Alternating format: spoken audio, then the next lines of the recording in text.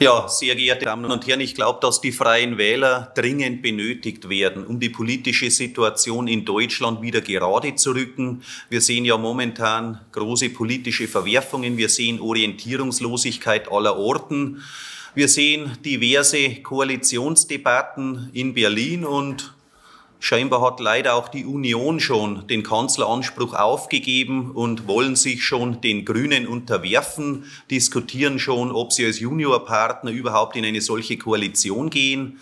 In unseren Augen ist das Rennen noch lange nicht gelaufen und wir wollen als bürgerliche Mitte hier retten, was noch zu retten ist, wollen ganz klar eine Kanzlerin Baerbock und eine grüne Kanzlerschaft verhindern. Wir wollen eine regierungsfähige Koalition der Mitte, die gesunden Menschenverstand vor sich herträgt, statt Ideologie. Wir sehen, dass die gesamte Klimadebatte sich verselbstständigt hat, dass Menschen ja schon so weit gehen, zu hinterfragen, ob man überhaupt noch Kinder bekommen soll, um CO2 einzusparen. Die trauen sich kein Fleisch mehr essen, trauen sich nicht mehr Auto zu fahren und so weiter. Also diese Weltuntergangsstimmung muss gestoppt werden. Wir brauchen hier technische Lösungen, um die Klimafrage zu bedienen, nicht Selbstmord.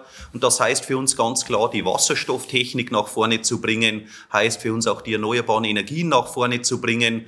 Und trotzdem muss das Land moderner werden und gerade dadurch wird es moderner werden. Digitalisierung, künstliche Intelligenz, das sind die Dinge, die in den nächsten Jahren auch die Technik bestimmen werden, die in alle Lebensbereiche Einzug halten. Und trotzdem verge vergessen wir die Basis nicht, sowohl die kommunalen Themen, damit wir starke Kommunen weiterhin handlungsfähig vor uns sehen, Nein zur Privatisierung der Trinkwasserversorgung, eine starke kommunale Entscheidungskompetenz vor Ort.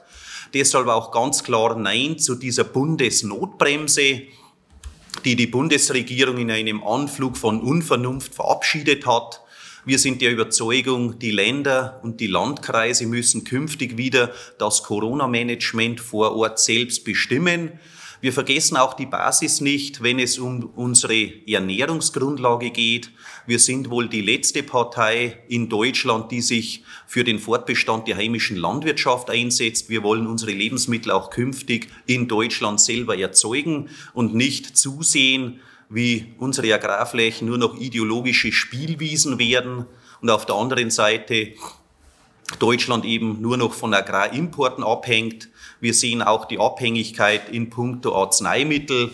Wir sehen die Abhängigkeit in puncto Halbleiter bei den Autos, also ungute Entwicklungen, wo wir ganz klar sagen müssen, unser Land muss wieder von innen raus Stärke entwickeln, muss wieder selbstbewusster sein, muss aufhören, ja, sich selber ständig in Frage zu stellen und die politischen Akteure müssen wieder im Sinne des Volkes, im Sinne der Bürger regieren und nicht im Sinne von Ideologien. Wir kritisieren auch einen übertriebenen Mainstream, der nur noch ja mit Gendersternchen, Quotendebatten und CO2 sich befriedigt. Trotzdem stehen wir natürlich für Umweltschutz, für Gleichberechtigung und all die Dinge, die eben eine moderne Welt auch mit sich bringt. Aber wir stellen es nicht als Ideologie vorne hin, sondern als Selbstverständlichkeit und sind auch neben diesen Debatten politisch noch sprechfähig und nicht darauf reduzierbar. Und in diesem Sinne wollen wir eben im Bundestag ein vernünftiges Angebot für all die Bürger schaffen, denen Eigentum wichtig ist, denen Familie, Heimat, Mittelstand, Anstand und Ordnung wichtig sind, um hier ganz klar ein stabiles Land zu bekommen, und nicht Deutschland immer weiter ja, zu demontieren, wie es in den letzten Jahren passiert ist.